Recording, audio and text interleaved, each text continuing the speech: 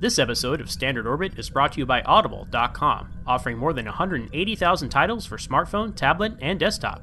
To get a free audiobook of your choice and help Trek FM at the same time, visit audibletrial.com slash trekfm. And also by Enterprise in Space, an international program for the nonprofit National Space Society.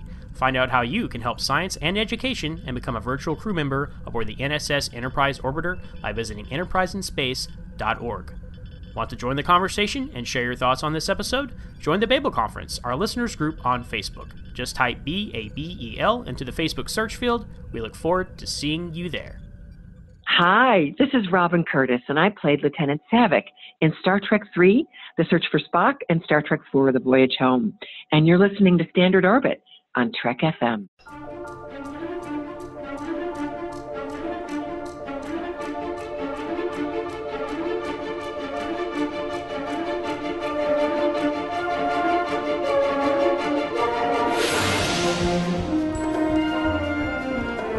Risk is our business. It's like nothing we've dealt with before. My golly, Jim, I'm beginning to think I can cure a rainy day. I can't change the laws of physics.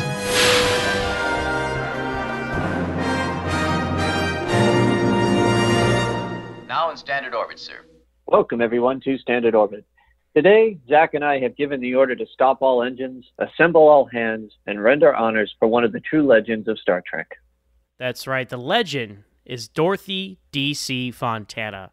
And so much credit goes to the actors for the success of the franchise, but it is, and it was, the incredible writing and subject matter that was equal in making Star Trek a success. And if there is a, a Mount Rushmore of the original series, DC Fontana is on it, isn't she, Ken?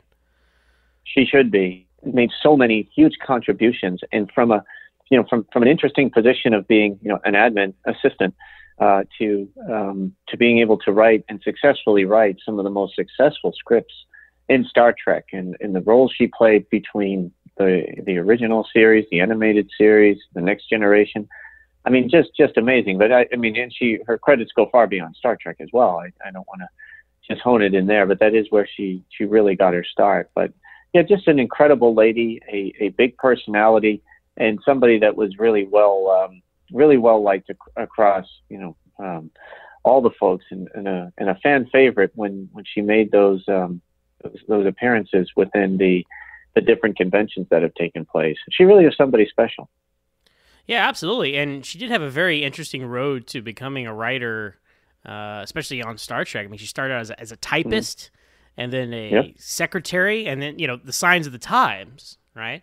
Uh, she Mm-hmm. decided to use her pen name DC Fontana because, you know, you submit a name like that, people aren't going to know if you're a man or a woman. You need to submit a, you know, a script with Dorothy Fontana, uh, being the 1960s and a lot of you know sexism and chauvinism going on that- that would get thrown into the uh, discard pile without even being read but you put dc on there gets people's attention the words speak for themselves you get a job and you take it from there you know and, uh, and far beyond the stars the deep space nine episode uh, where they go back to the 50s sci-fi uh, they actually make a reference to this uh, I, I forget the character's name but the character that Nana Visitor Kira you know whoever she's playing in Benny Russell's 1950s world uh, it's a similar situation and she was inspired by Dorothy Fontana like that character like oh I'm going to use my initials and people aren't going to know that I'm a woman. So uh, you know, that, I think it's very creative of her to get the job done that way but sad that she had to do that but everybody does know her as DC Fontana and that's why That's right.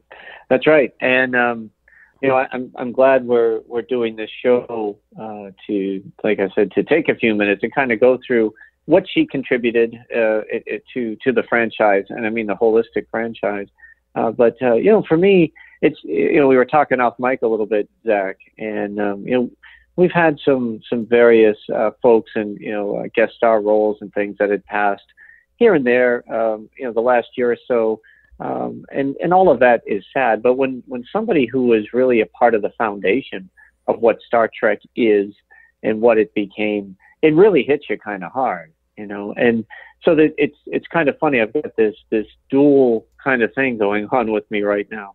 I'm very sad that she's gone, but I'm very happy uh, for the contributions that that she had, and you know, and I'm hoping that in her personal life um, you know, she she she had a good run and was um, was happy. I mean, she she made a lot of people very very happy. She she made some huge contributions.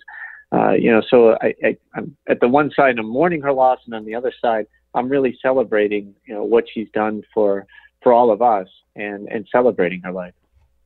Yeah, and you know, I honestly I didn't know if she was married or not until I was reading articles about her and her obituary articles, and uh, married to Dennis Skotak. Uh, they got married in the '80s, and he was a cinematographer. So uh, mm-hmm. they, they, didn't have any children, but uh, she did have a family life there. And and you're right, you know, uh, just looking at how old she was, she was 80. Okay, which mm-hmm. I mean that sounds old, but do the math. I mean, she was working on Star Trek in her late 20s. you know, I mean, right. think about that, yeah, yeah. right? I mean, I'm in my early 30s now. I'm like, oh my gosh, she's younger than me when she was, you know, laying the foundation of the Star Trek universe. So that's that's crazy to think about. And uh, yeah, I mean, it's uh, you're absolutely right too, because you know, Gene Coon, who was a, a similar, you know, Mount Rushmore head of mm-hmm. uh, Star Trek, uh, he died in the 70s. You know, I mean, he he was just as uh, intricate in the creation of the show is Gene Roddenberry and DC Fontana, and and he Sally didn't live long enough to see Star Trek's resurgence, so there's you know he doesn't get a lot of talk. You know, uh, Leonard Nimoy always made it a point to bring up Gene Coon when they were talking about you know the history of Star Trek, which is you know being the uh, the give credit where credit is due guy that Leonard was most of the time. Uh, he would always mention Gene Coon, and then of course Gene Roddenberry he passed away more than 25 years ago, and Robert H. Justman, I think it was about 10 years ago now that he's passed away. So, you know, all these big names you see in the in the end credits of Star Trek, they're they're starting to go too. It's not just about the the actors as we mentioned in our open. Yeah.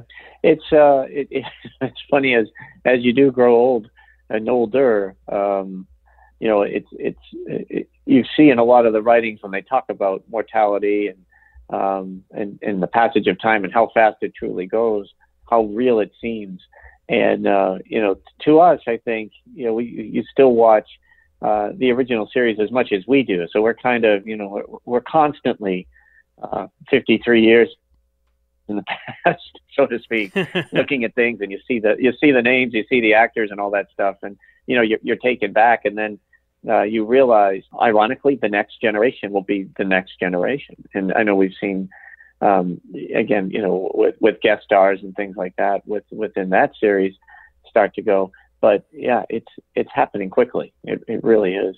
So, yeah. But uh, back to to Dorothy. Um, I, I, first thanks for for putting this together and uh, and turn around. So this is um, Wednesday, the fourth of December, where we're recording this uh, the day after uh, notification, and it was it was Zach who sent me a text. Uh, you know, I've been working, I hadn't been on social media, anything, uh, when I, when I got that note from you.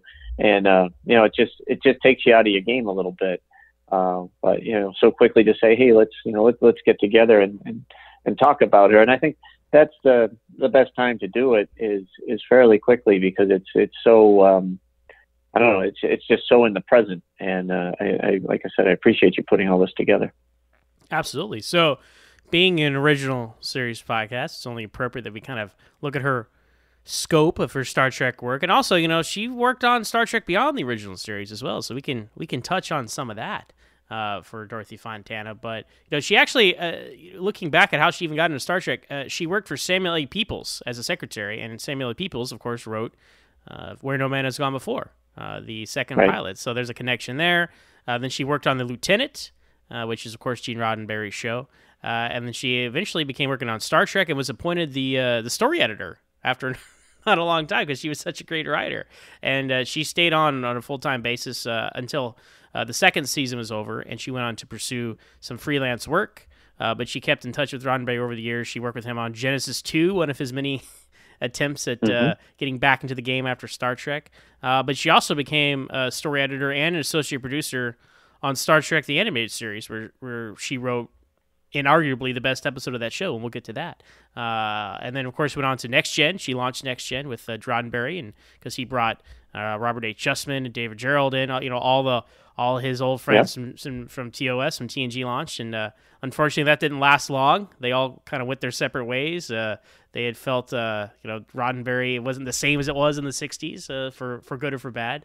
Uh, but she did finally cap it off her, her Star Trek, uh, well, her official Star Trek career with an episode of Deep Space Nine, uh, and then did the fan film uh, to serve all my days, the Star Trek New Voyages fan film, which starred Walter Koenig. So that's kind of the the overview of her Star Trek uh, career. But you know, let, let's let's uh let's take a closer look at some of these episodes here, Ken, and any ones that stick out to you. Now, just looking at her uh, overall body of work, you know, she has her name attached to 10 episodes, right? But as mm-hmm. we know, as a story editor, I mean, she had her hand in so much more uh, because right. they would all pass through her desk. You know, she would help kind of hone character and make sure things were consistent in the universe. And, uh, you know, the character of Spock alone was very influenced by DC Fontana. And I, I, think we have her and Leonard Nimoy equally to really thank for the identity of that character as he evolved over the course of the show. Yeah, yeah, she she was an integral part of all of it, and yeah, you know, it's funny when you when you learn and you read about what goes on uh, in the writers' room, and it was always it's always interesting to me because it, it happens, you know, in in a lot of shows today that one or two names are usually attributed with writing the screenplay uh, but it really is a, uh, a whole bunch of people. Uh, you know, Gene Roddenberry rewrote tons of it too. Right. Uh, it, it, it's it's amazing how many people it takes to get one script together, and um, and the work that's involved, and the timeline that they have to do it in is incredible. Uh, but you know, with her um, her creativity, I think her input. I mean, she's got an indelible stamp on on Star Trek, and you're right. Her development of the characters, um, you know, it's I think it's really understated, to be honest with you, uh, what she's done. Obviously, on very sad occasions like this, you, you you dive in a little deeper. You know, we always knew that she played a pretty big role, but when you see the list of these episodes and how impactful they were to the series it it really is like wow yeah she was involved in you know uh, uh, you, you talk about 10 episodes she probably had a hand in probably 60 more of those 79 episodes she had to have yeah and just looking at the list here uh, charlie x mm-hmm. good episode you know i i feel like uh, when uh, before I was really getting back into Star Trek as as as you do when you do a podcast about it every week. Uh, I was like, yeah, Charlie X. It was that one with the teenager guy and he had the powers, whatever. And then you rewatch, like, oh no, this is actually saying a lot about like puberty and growing up and loneliness and adolescence and uh, learning about just you know finding your place in the world with superpowers, you know. And uh, it is like it's like a dark origin story of like like a comic book villain or something like that. And there's a lot mm-hmm. there's a, there's a lot to that episode, and uh, that was her first uh, that was her first foray, and that's what kind of opened the door for her to continue on the show I thought, um, yeah, I, yeah, I, I mean, to me, um, you know, we're doing an episode review type of thing. yeah, right. what I what I really liked about that that Charlie X two was, you know, it also said uh, it spoke a lot about parenting or the lack of, mm. or how important it is, and I thought that that was a key a key piece uh, for whatever reason for all the different um, uh, subject matter that they were covering uh, with him and his character that to me kind of you know uh, stood out. I, I, don't know why, but it's just one of those things where I, you know, uh, terrible accident. He's alone. They do the best they can. Uh, they leave him with others, but you know, it, it really was um, Kirk and Rand who who took over to to really try to um, guide and, and be good parents. And you know, he had he had developed um, these these powers and abilities that that made it very difficult, obviously, and he wasn't ready. But it, you know, like I said, not to get too deep into it, but it was, I thought, very cleverly done, well written episode. I, I always enjoyed it, and um, you know, I, I'm looking at this list, and you know, there's the, the ones that really pop at me. I just go, man, those those were were great episodes. Was uh, Journey to Babel, uh, mm-hmm. The Ultimate Computer, The Enterprise Incident. Those are the three, you know, on this list. I just go, those were um, incredible and, and very action oriented too, you know, which yeah. I think is pretty cool. Yeah, I mean those episodes right there, th- th- those are definitive Star Trek. I mean, they lay the groundwork for so much that was to come. She introduced Spock's parents. You know, she mm-hmm. introduces so much of the Federation, like the Andorians and the Tellarites, and uh, that that that echoes on through you know Enterprise and beyond, with them being founding members of the Federation.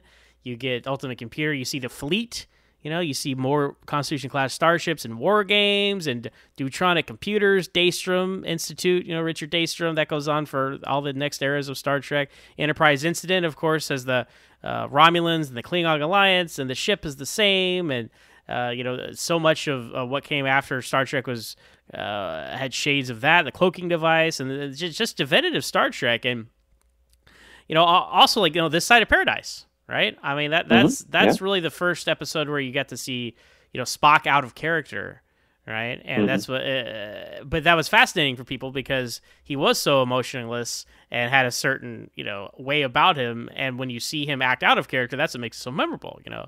Uh, and that connected with a lot of people, you know, all the iGrok Spock people back in the days. I understand it. We're like, oh, Spock, he's dreamy. He's got a girlfriend right. now, you know. So people connected to that. And um, you, you speak about Charlie X being about parenting. I thought it was interesting. An episode on here that honestly I didn't really know she wrote because I've seen this episode maybe like two or three times ever. Uh, was Friday's mm-hmm. Child, and I, yeah. you know, I never really revisit that one. I don't think of that one as a like a good episode. so no, really, if there's only reason, if there's one yeah. on here though, really, that's the only one I look at. I'm like, ah, eh, you know, that really wasn't too good. Uh, Friday's Child, yeah. but it was about you know it was about parenting, you know, and I think and I believe I've I've read or saw an interview with her talking about it, and it kind of it was kind of her putting some of herself into uh, that story. Like, yeah, not, not every woman wants to stay home and be a housewife, right? And that's not, right. know, not that's not like the overall theme, but there are definitely shades of that in the main character uh, in that episode where she has the kid and she doesn't really want it, and you know, dealing with all those factors, and you know, based off her, you know, female perspective, she has a more unique perspective than that than this other, you know, all these other guys in the writing room who are male. Yeah, excellent point. Excellent point. I'm aligned with you. It's not it's not one that I go back to very often, uh, but I do enjoy you know watching any episode of Star Trek. But yeah, it, it, it, I think that perspective um, is is was probably very critical in the time, right? Because they they talk about I know people tease all the time about Star Trek sex appeal, you know, with the the mini skirts and all that. And I know we've talked to the fact that it was kind of a, a rebellious uh, thing that women were doing back in the day uh, you know, to actually and express themselves a little bit more. And I'm guessing the truth on that is probably somewhere in the middle, uh, when it when it comes to those outfits. But at any rate, um, you know, Star Trek was was meant to be a liberating show, uh, and and she brought aspects to it, and demonstrably, you know, showing that. Uh, you know that, that that women were an integral part, or at least she was, in making that show successful from the writer's perspective.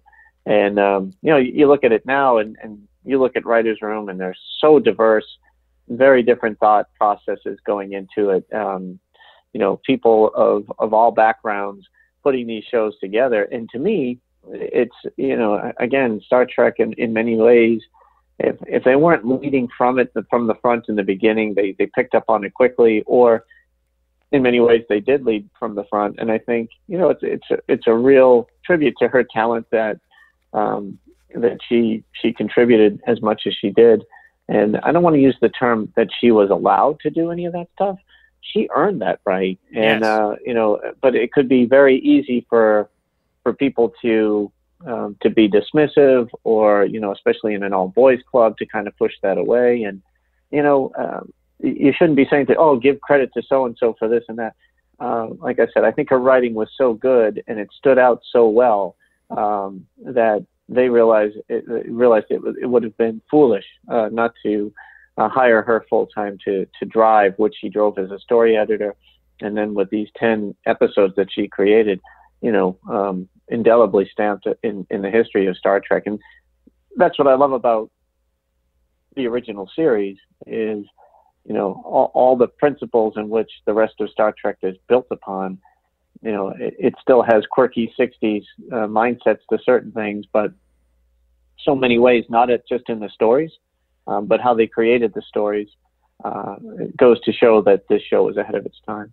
Mm, absolutely. And, you know, look at the Enterprise incident, right? She is a female mm-hmm. Romulan commander, right? One of the most memorable guest stars on the series, you know, and uh, as we said in a recent episode, you know, the, the other alien races had female captains and first officers.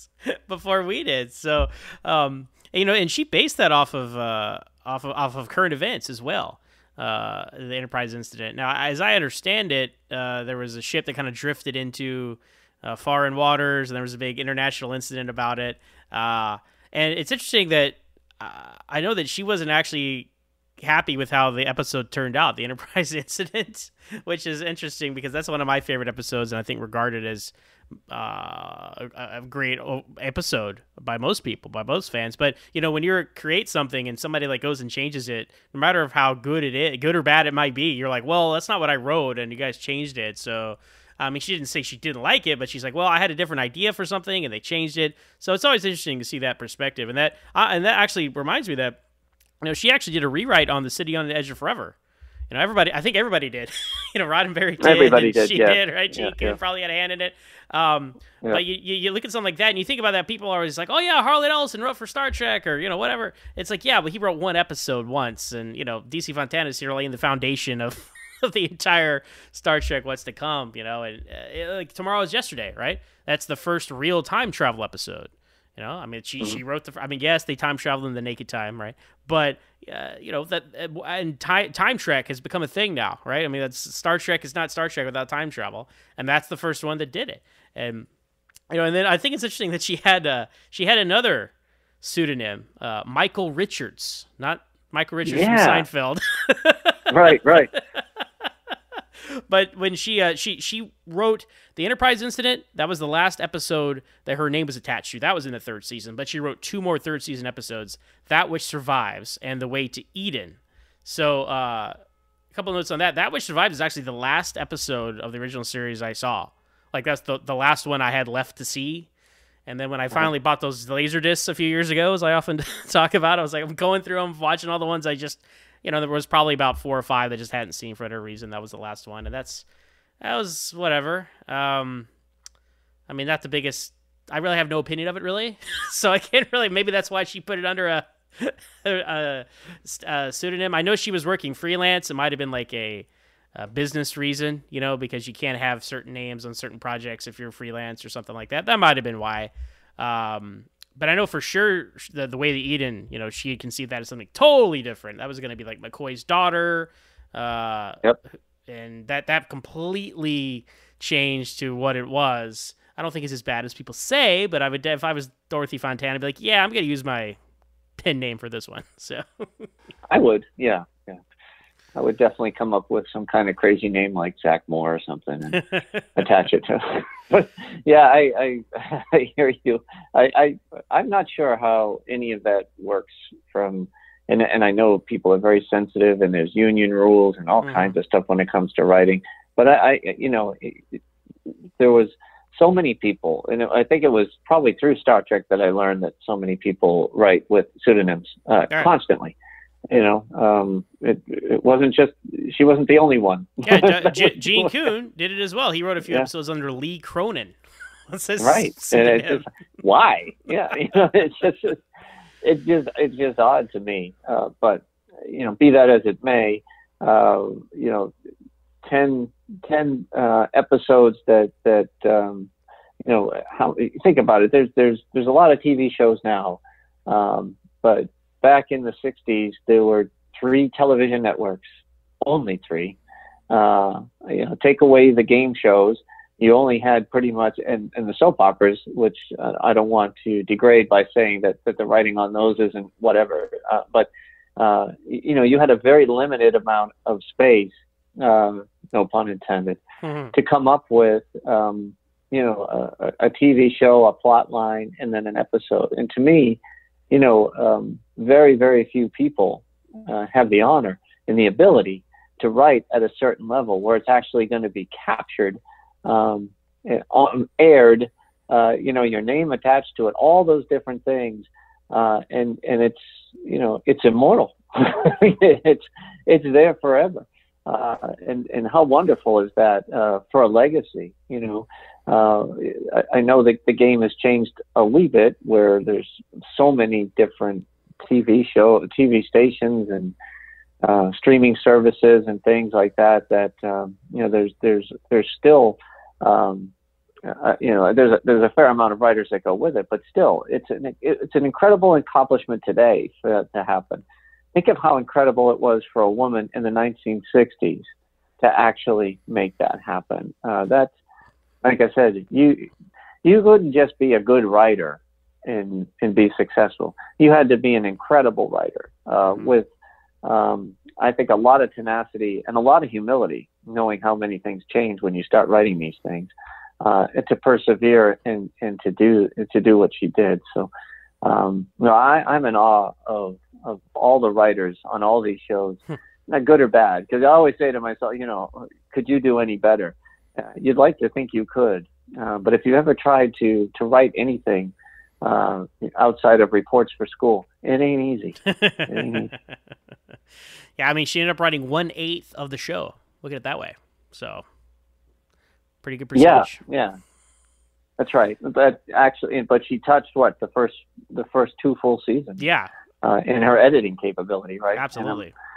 I'm sure there was a couple of words here changed here and there to make sure that the dialogue made sense when, you know, somebody else came on board or or whatever. So um, that's that's a tremendous amount of work. I mean, these folks were killing themselves to get these things turned out. Mm-hmm. And speaking about work, I mean, she basically became the showrunner for the animated series. That was my understanding of how the hierarchy worked over there. Uh, and she wrote what is indisputably and arguably the best episode of the animated series, Yesteryear. Uh, she, br- she brings back uh, Sarek and Amanda from Journey to Babel, who she had introduced in the show. Uh, we talk about Spock's past, which was also referenced in that episode. Also, we tie in the Guardian of Forever back before Harlan Ellison was suing everyone who tried to use his intellectual property. So we got that one last time, and uh, it's a great episode. And again, it's a, it's about something. You know, it's about like the you know rites of passage and dealing with loss as a child and uh, family dynamics. You know, I mean, there- there's so much going on in this animated episode, and it really does get you in the feels. And and I I rank it up there with the, among the best of all Star Trek, animated or live action, regardless. I agree with you, Zach. You know, I don't think I've ever given it its due in terms of ranking it like that when you look at your total episodes. And not that we've done a lot of shows like that. We've done a few, Mhm. but um, you know, I've never kind of sat back and said, okay, where does yesteryear fit in to all that? And uh, I would have to say it would be it would be up there. It was um, one of the few animated episodes that I could truly watch and get into um, and enjoy versus kind of you know, um, and not not getting lost in the plot or being distracted by, you know, um, all the different elements that went into that show. You know, like I said, the crazy animation or sometimes the voices or whatever, it can kind of pull you out. you know, especially when you rewatch it. You know, not not taking anything away from from the effort that was put into it, but filmation was unique. Uh, but yesteryear, um, you know, that would have been a great live action uh, episode. It would have been a great one hour episode. There was a lot of things that Yeah. um, that could have been pulled into that, and you know, I I, I really did, uh, and, and it was clever too. I mean, um, I think it is it is is it fair to say um, it's the only real time travel where you know the, uh, until Star Trek 09, I guess. I guess it's the second time with Spock met Spock. Now that I think about it. yeah. I never put that together before until just now, but you know that was the first time I can remember where you know a future you you, you goes back to see a past you or something Mm, along those yeah, that- the first time the franchise for sure. Yeah, and and this this episode right because the animated series is it's always gone back and forth between like is it canon, is it not, does it count, right? Uh, this one has always been considered canon, even when the animated series was kind of like that redheaded stepchild for for a while there. The franchise, like, uh, it has been referenced visually and in dialogue uh, afterward. You know, you mentioned Star Trek 09. There's a lot of yesteryear in Star Trek 09, young Spock on Vulcan and bullies and things like that. So, uh, another foundational piece of Star Trek, even from the animated series, she's cranking out foundational Star Trek. So, still had it in the 70s for sure. And you know that Mm. only that only lasted two years, unfortunately, the animated series. Uh, but it did it did finish the five year mission. And my, talk about canon in my head canon, those are the last two years of the five year mission. There you go. So, uh, well, there it is, done. so then with Gene Roddenberry got, you know, back control of Star Trek, uh, at least for television, Yeah. uh, he brought his friends back from the original series, called in, you know, Robert Justman, David Gerrold, and of course DC Fontana, and they co-wrote Encountered at Farpoint together, the the, the launch of the Next Generation. And uh, of all the modern era pilots uh, from the you know the Berman era of Star Trek, uh, I think it's generally accepted that this is the weakest one of them. But I don't know how much blame you can put on Dorothy Fontana for that because she kind of wrote her own script, and then Roddenberry came in and added you know the Q element to it to the story she had already written and kind of rejuried everything around and then he got co-credit and and that kind of started kind of like the as I understand it the like the souring of their professional relationship where like she had done this and he kind of come in and got co-credit and that kind of stuff. And you know when you're you know you're just doing what you do you know things happen and you never know what happens professionally but she did stay on you know for the rest of the first season but uh, she didn't go on to write any episodes just herself for for Next Generation. I mean, she she was part of the Naked Now with uh, John D. F. Black, who wrote the Naked Time. So you know, very mm-hmm. much an original series uh, inspired episode there. And uh, you know, a couple more, but I don't know if you have anything else to say about these. But actually, Heart of Glory, she uh, co-wrote that with uh, Maurice Hurley and Herbert Wright. Maurice Hurley uh, one of the executive producers for Next Gen the first couple of years, invented the Borg. Very interesting character. Mm-hmm. He was the focus of Shatner's documentary Chaos on the Bridge. Just a very interesting guy. Heart of Glory is actually my favorite Next Generation season one episode. It's really the first Worf episode. It kind of establishes the Klingons in the 24th century and and I just mm-hmm. and, but but it was like they were still TOS kind of enough. Like they weren't it wasn't all just like Viking samurai honor glory die tomorrow. Like that's great. We all love that, but it gets old after a while. So these are kind of some more interesting characters and it's uh, Vaughn Armstrong's first appearance on Star Trek, and he goes on to be very, very, very many characters throughout all the series, aliens, humans alike. Uh, probably best known to play Admiral Forrest on Enterprise. But anyway, uh, I always thought it was interesting that she had a hand in that. I don't know how big a role she played in writing that episode, but uh, that's my favorite from Next Gen season one, and, and I'm glad that her uh, that she stayed on long enough to be a part of it. Yeah, yeah. I mean, her her, her contributions there. It, it, again, it, it's funny. I, I, don't I don't remember. Um, ranking pilots before, and um, but uh, you know, like all all, all things through um, context and lenses change. Uh, they change in time or whatnot. But I, I always thought Encounter at Farpoint was was a good kickoff um, to the new series. I, I I didn't dislike it. Um, I remember when it aired, you know, the first time and how excited we were to have Star Trek back on TV and to see if they could pull it off and and maybe because it reminded me a little bit of the motion picture with kind of the the cerebral piece of it. You know, you're mm. you're solving a mystery that's um, yeah, cleverly done. Let's just and let's and, and you had you had Decker Nylea in it as well, so that yeah, yeah, you certainly certainly did. So uh, you had a, yeah, uh, there were definitely a lot of connections there. Well, look, um, but t- speak of connections, though, Ken, I, I mean, I think you know, the McCoy scene between him and Data is perfect. And I have no doubt yeah. that she played a role in that, having the voice of McCoy coming through. And people say, "What's the best appearance by an original series character in the Next Generation era?" I'm like, "Yeah, you know, probably, probably McCoy in the Encounter at Farpoint because it's just enough. You know, they don't even say his name, but you know who he is, and it's so on point and perfect." And uh, and mm-hmm. I believe that she definitely had a hand in, in finding the voice of that character again all those years later. So. Yeah, yeah, I'm sure she did. But um, yeah, it, it, that's an excellent, excellent point. And I agree with you too on, on Heart of Glory. I think that is by far the best episode of it. It was certainly the most exciting, and you know that's that's what I like about her is her ability to, um, you know, to write a, a good story um, with with good drama. But I also like the the ability to to mix that drama with drama. That's very Boston of me. that drama with um, with good action as well like she did in the Enterprise incident or the Ultimate Computer. Yes. Um, and you know, and and doing that again in, in Heart of Glory and having you know a little bit more upgraded effects as time went on. But that was very good. It was, it, like I said, she she was something special, and um, she she definitely um, you know helped frame the next generation. And you know, I know a lot of people are critical of the first season. I, th- I think for for good reason here and there, but it did find its legs with a lot of the things that they established very early on. Yeah, definitely. I think that last stretch episode, which of Glory is part of, is probably a really, actually, really great stretch episode. It's Arsenal of Freedom, Skin of Evil, Neutral Zone. You know, there's just some great, there's some great Star Trek in there. And uh, there is. She went on her way after Next Generation season one, as David Gerrold did, as Robert Justman did.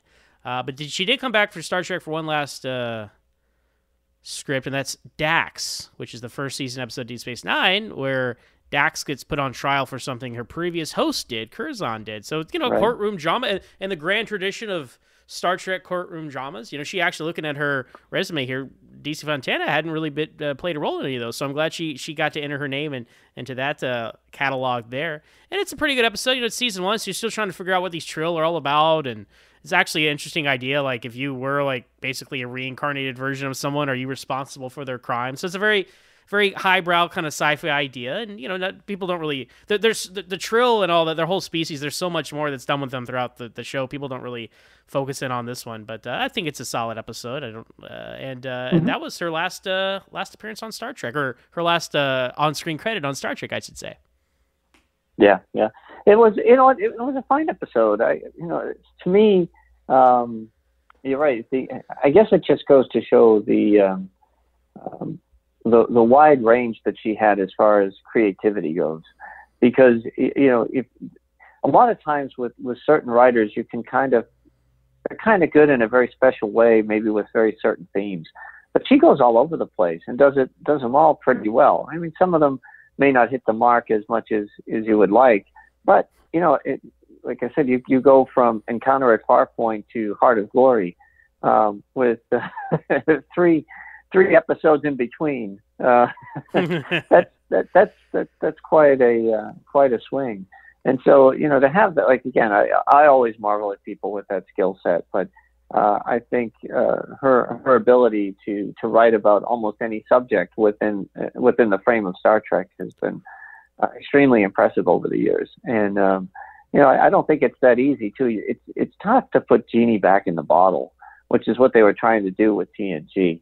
And and you know maybe it didn't hit on all thrusters as they say coming out of the gate, uh, but it picked up quickly. And and again, I think if um, if there wasn't so much chaos on the bridge, and you know, uh, we heard the same thing from David Gerrold too, right? That it, it, a lot of the things that they were trying to put out there or whatnot were being countermanded or rewritten and all that stuff.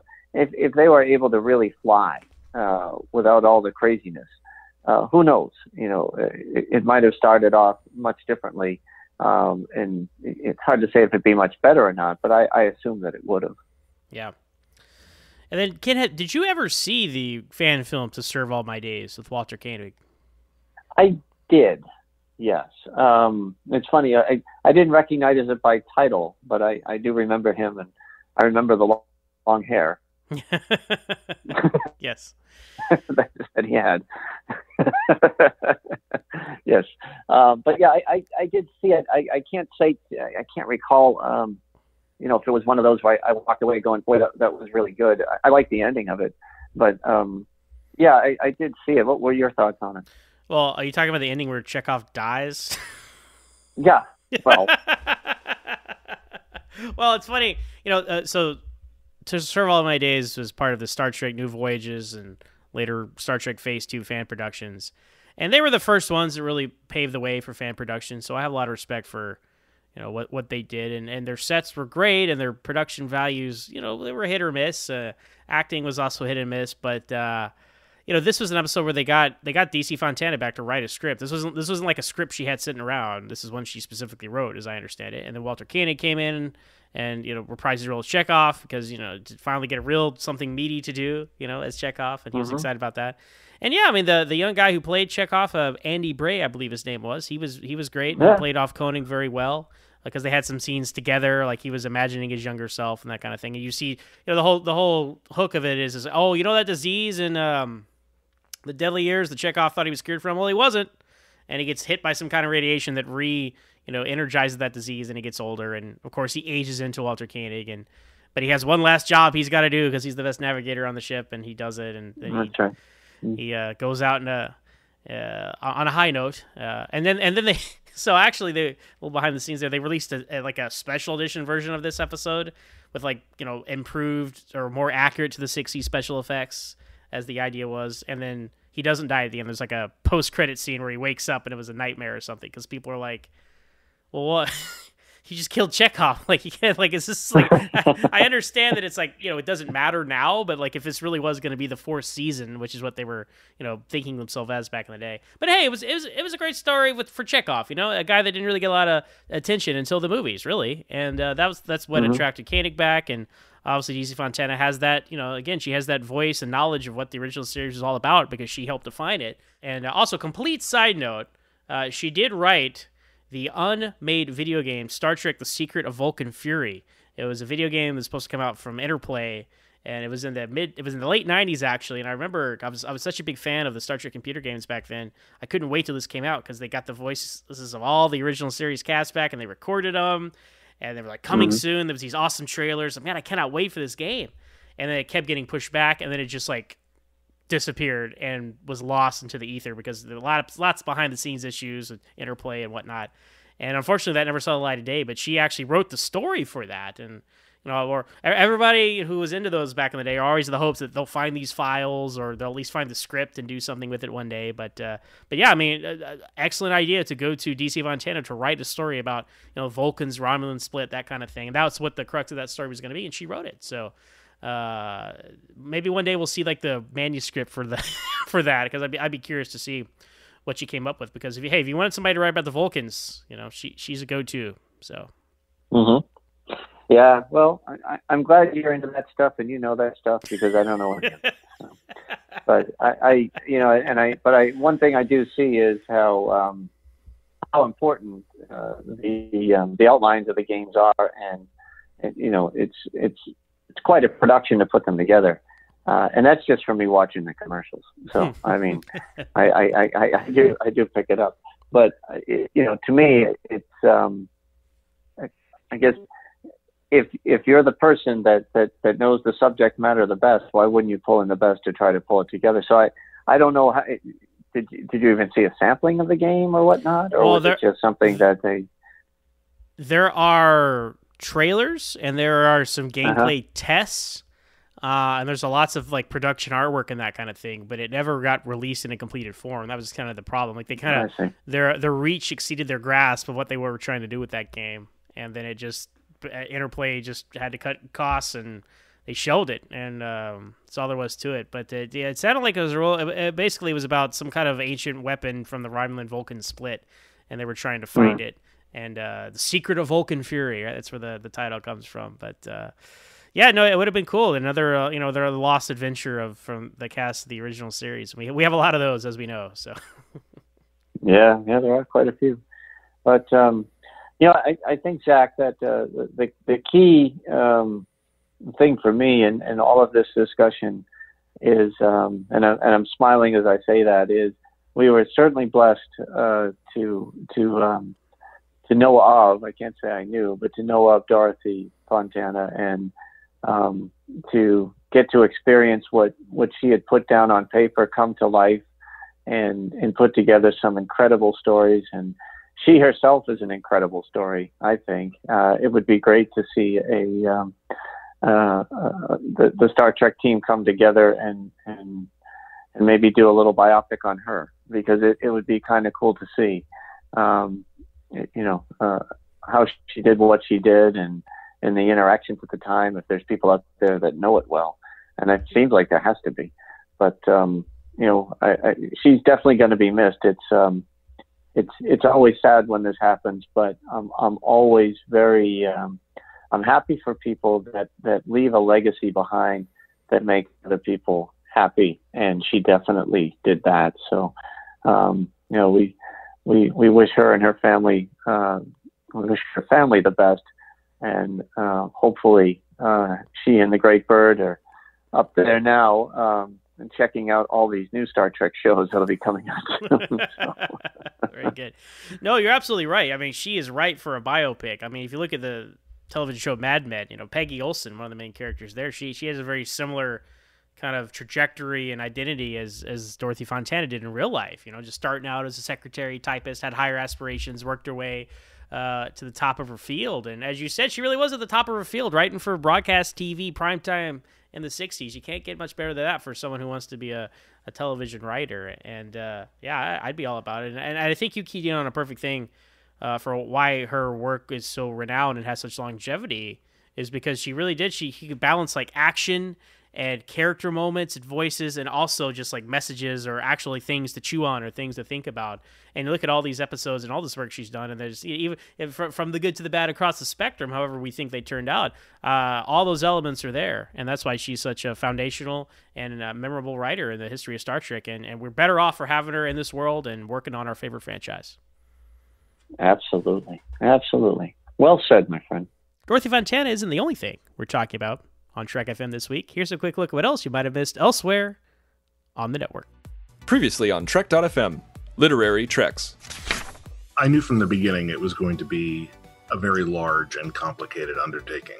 I was asked by the editor and the licensor to come up with a storyline for Picard that would deal with the fallout of what I unleashed in my novel Section 31 Control in which Section 31's crimes, and in fact its very existence, are publicly exposed to the Federation at large as well as its interstellar neighbors.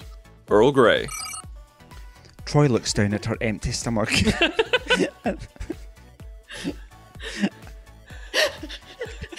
Let me do this part. I'm going to act it. Okay.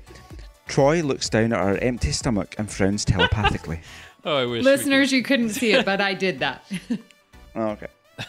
LaForge. Computer, locate a big thing of chips. to the journey! What about the basics planet? That planet's not bad. There's a lot of wide open spaces. You just have to avoid going in the caves. Yeah. I mean, anthropologically speaking. No spelunking on that planet. You can spelunk on the Borg Una complex, but you can't spelunk on that planet. No. The Edge, a Star Trek Discovery podcast that he said he was taking he, the new body out for a ride. Yeah, that was great. I mean, it was a great line. It just doesn't really fit what really happened. Like he wasn't out there dating other people, you know. Like, well, he was trying to figure out who this new Culber was, you know. No, I know, but it, it was I like funny. It was lighthearted, it, right? It just didn't. It just doesn't fit what he actually did.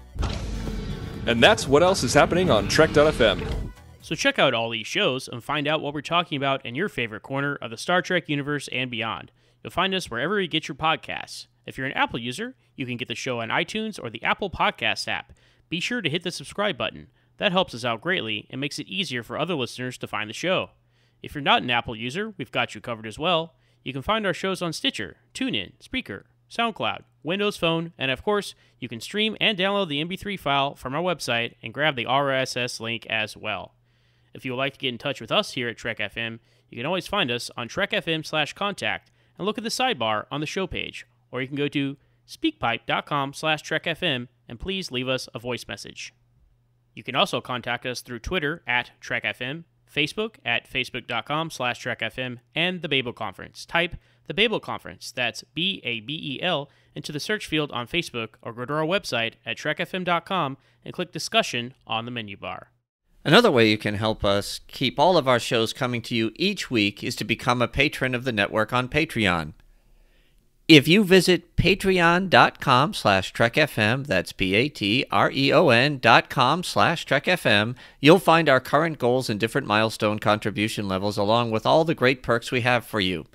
These perks include early access to content, exclusive content, producer credits, seats on our content development team, and more. We really appreciate any support you can give us and hope you'll join the team. Again, you'll find the details at patreon.com slash trekfm. Speaking of Patreon, thank you as always to our associate producers for Standard Orbit. They are Norman C. Lao, Nick Anastassiou, Tim Robertson, Richard Marquez, Corey Elrod, Dan Rhodes, and Mike Richards. Your contributions, your help, your support, they mean the world to us, and we appreciate you being associate producers on Standard Orbit. So to find me on the interwebs, you can find me on Twitter at BostonSCPO. As for me, you can find me on Twitter at MooreOnZach. That's M O O R E O N Z A C H. I'm also the host of my own podcast, Always Hold to Smallville, where we talk about each and every episode of that young Superman show. You can find us on Twitter at Always Smallville with one S. I'm also the co host of Franchise Fatigue, a podcast where we look at sequels, remakes, movie franchises, and when a franchise gets fatigued. You can find us on Twitter at UFP Earth, part of the United Federation of Podcasts. So thanks everyone for listening, and join us again next time here on Trek FM for another episode of Standard Orbit.